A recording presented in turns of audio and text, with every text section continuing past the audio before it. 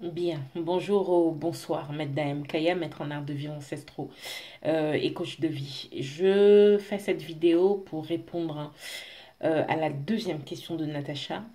Euh, Natacha m'a demandé si je pouvais faire une vidéo sur une première pénétration vaginale.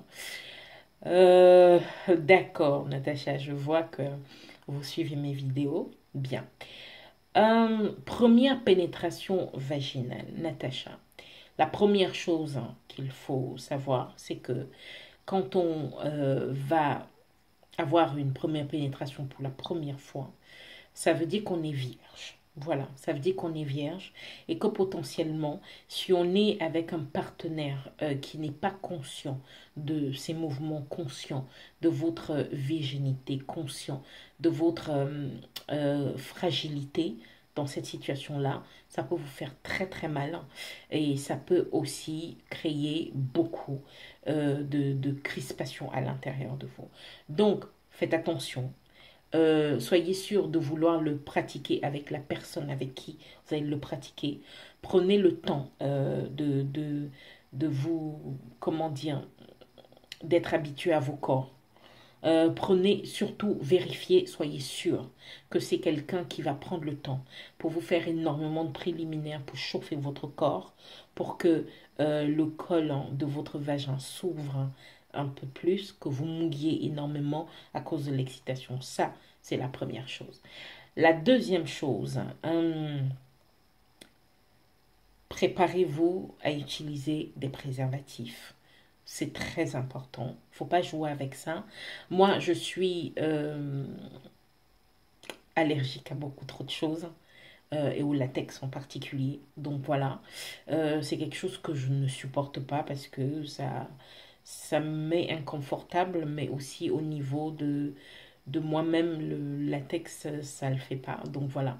Mais vous, euh, utilisez des préservatifs, c'est très très important. Vous avez euh, des marques aujourd'hui qui créent des préservatifs qui sont euh, tellement fins, mais efficaces, mais qui vous permettent de ressentir votre partenaire complètement.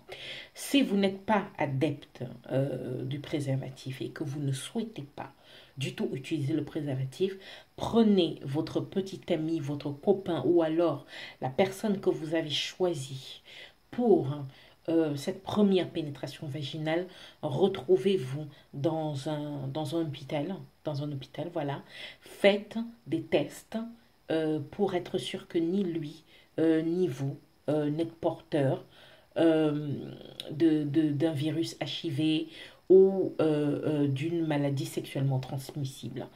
Voilà, vous pouvez aller dans un hôpital le faire, hein, faire cet examen-là, tous les deux, ou vous pouvez vous rendre dans une pharmacie, acheter des kits pour vérifier si vous êtes atteint de VIH. Voilà. Mais au préalable, vous, vous êtes vierge. Donc, euh, vaut mieux faire la batterie des tests avec lui pour être sûr que tout va bien. S'il a déjà fait d'autres tests ou vous, vous, avez déjà fait les autres, vous pouvez vous rendre dans une pharmacie pour demander un kit pour tester si vous êtes porteur du, virus VIH euh, ou pas. Et là, vous achetez ce kit, il y a toutes les informations à l'intérieur. Vous faites le test à la maison, tous les deux. Chacun d'entre vous fait le test, vous regardez, vous attendez. Ça prend euh, maximum entre 15 et 20 minutes vous avez l'information. C'est très fiable, euh, d'après ce que j'ai pu avoir comme retour euh, de ceux qui ont testé ça. Et aussi, euh, médicalement, on dit que c'est très fiable. Donc voilà, ça c'est la deuxième chose. La troisième chose, c'est que quand c'est la première fois, n'allez pas prendre des positions scabreuses, Natacha. Euh, vous avez euh, la position du missionnaire, pas mal. Euh, la levrette, hmm, pour une première pénétration vaginale, je vous dirais oui, mais missionnaire. Voilà, plusieurs variations de missionnaire. Vous avez la position des cuillères, je ne sais pas. Euh, si ça peut marcher dans ce cas, c'est ça peut être tenté, mais bon, vous pouvez aussi euh, vous asseoir sur votre partenaire, mais même là, je vous dirais, pour la première fois, euh, essayez toute variation de missionnaire, surtout, surtout, que la personne, vérifie que la personne est très attentionnée, et vous, et vous, vraiment, veillez à être préparé autant qu'il faudra. Voilà. Si votre partenaire euh, est aussi vierge, s'il est puceau, euh, prenez un peu de temps pour euh, être, comment dire-vous, pour vous sentir à l'aise. Voilà, chacun vis-à-vis de l'autre.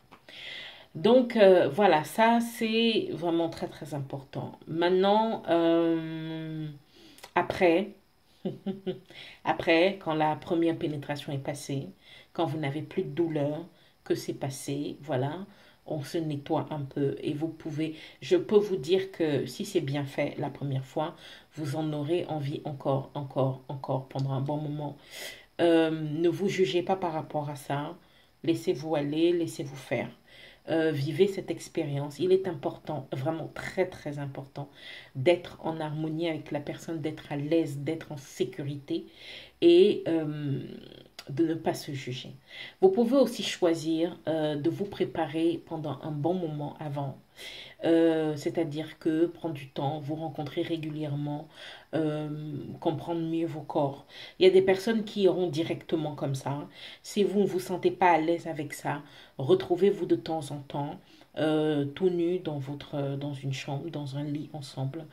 appréhendez vos corps, euh, appréhendez les odeurs de vos corps, appréhendez les parties sensibles de vos corps, sentez-vous à l'aise euh, l'un vis-à-vis de l'autre.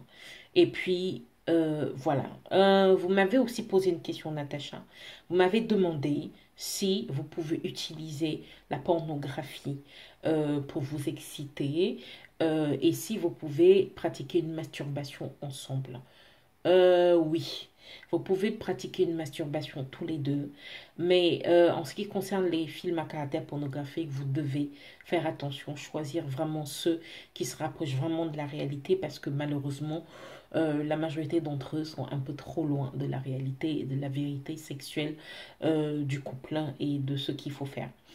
Voilà, mais vous pouvez choisir un bon, le regarder avec votre partenaire. Effectivement, ça va vous exciter, mais n'empêche, ne n'accélérez pas les choses, ne brutalisez pas les choses. Allez-y doucement, tranquillement, prenez votre temps. Et euh, si certaines personnes ont un problème hein, avec le fait que vous prenez du temps, euh, ayez assez de force de caractère pour choisir de ne pas les écouter et de faire les choses comme vous vous sentez. Voilà.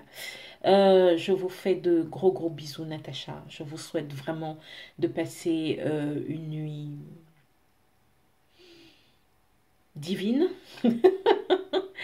et euh, de vraiment avoir une, une grande connexion sexuelle avec votre partenaire, de vous faire plaisir, de vous amuser. je vous souhaite plein de bonheur. Voilà. Et puis, si vous avez d'autres questions, surtout n'hésitez pas. Euh, c'était Madame Kaya, maître en art de vivre ancestraux et coach de vie.